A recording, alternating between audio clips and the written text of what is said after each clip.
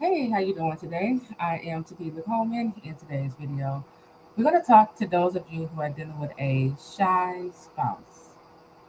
So if your prodigal spouse is shy, you know, understand and know that this shy spirit is one of the reasons why you're not hearing from your spouse. This is one of the reasons why your spouse um, could be behaving in ways where they are doubting what God said, or they even may uh, be withdrawing themselves from you.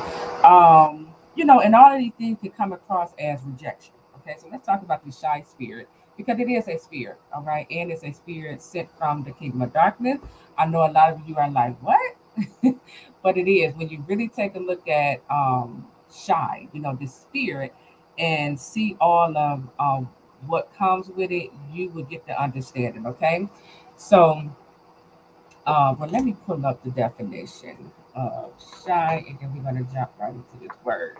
So uh, here's some definition for the word shy. Shy means being reserved or having or showing nervousness or timidity in the company of other people. Now, scripture tells us that God didn't give us the spirit of fear, or another translation say the spirit of um, basically timidity, you know, but he get he has given us a spirit of power, love, and a sound mind. Okay, so we already know that you know fear or timid it comes from the kingdom of darkness. Okay, can we all agree on that? Um, and when you take a look at the synonyms for shy, we already know, okay, that the synonyms are the um the synonyms are the other evil spirit that group up and link up with this, you know, um, this spirit of shy. So we have timid, we have introverted, nervousness, shrinking, withdrawn, fearful, apprehensive, hesitant, reluctant, doubting, insecure, suspicious, unconfident, constrained, repressed. We're going to take a look at that word repressed, self conscious, and bears. So all of these things, okay, are opposite of the kingdom of God, okay, because God is like, look, walk by faith. God is like, be strong and courageous, okay, you know. God is like, have faith, you know, do not doubt, right? You know, He want us to be confident and secure, you know, in God's, you know, love for us, right? So we already already identifying shy, this shy spirit, it is sent from the kingdom of darkness. So if you are dealing with a prodigal spouse who is currently, you know, um, they might be shy, they might have a shy personality, but you need to really understand what you're dealing with here. Now, repress, because this was one of the synonyms that's that's attached to shy. Uh, rep- repress, um, it means subdue someone by force. So this repressed spirit is now subduing, okay, your God ordained prodigal spouse by force. Um, repress also means to restrain. It also means prevent or inhibit the expression or development of something. So your God ordained prodigal spouse, they have things that they want to express to you. But because of this spirit of repressed, this repressed spirit that is pressing your spouse down, it's an oppressive spirit. Okay. Um, who is very demonic. Because of this spirit is attacking your spouse in this way, this is why for some of you you're not in communication with your spouse. For some of you you know you're like i don't even know how my spouse feel about me. It is because of this spirit we're dealing with here okay? Repress also means suppress a thought feeling or desire in oneself so that it becomes or remain unconscious okay?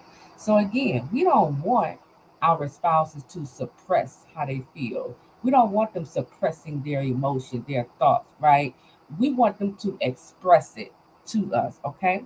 So we have to begin to you know deal with this spirit uh dismantle this spirit and uh you know in prayer okay? Some of the synonyms that link up with the spirit um this repressed spirit are hold back hold in so we're going to command we're going to rebuke this spirit uh hold back in the name of jesus christ okay you spirit that's holding in my spouse's um, thoughts and emotion, I, I rebuke you and bind you in the name of Jesus Christ. Okay.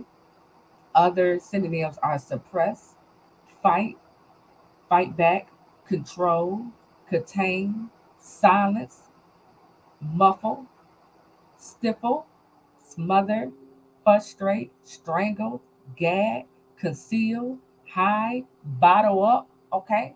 So this is what we have to do. All right. If you're dealing with a, with this shy spirit, you got to take authority over this spirit. Okay. You got to rebuke it, bind it, and then begin to destroy that demonic altar. Okay. That's erected over your prodigal spouse's life. And if you also you know, uh, is someone who is shy, or maybe you refer to yourself as an introvert, you have to begin to understand that this is very demonic. Okay, it's it's it's associated with the kingdom of darkness. Okay, so again, just rebuke, you know, uh, the spirit of fear, this timid spirit. We rebuke you and bind you in the name of Jesus Christ. We rebuke all nervousness, fearfulness. We rebuke all shrinking back, our hesitant spirits in the name of Jesus Christ. We rebuke that reluctant, that doubting, that insecure spirit in Jesus' name. We rebuke all suspicion um, uh, spirits in the name of Jesus Christ. We rebuke that constrained uh, spirit, that embarrassed uh, spirit. We rebuke you and bind you in the name of Jesus Christ.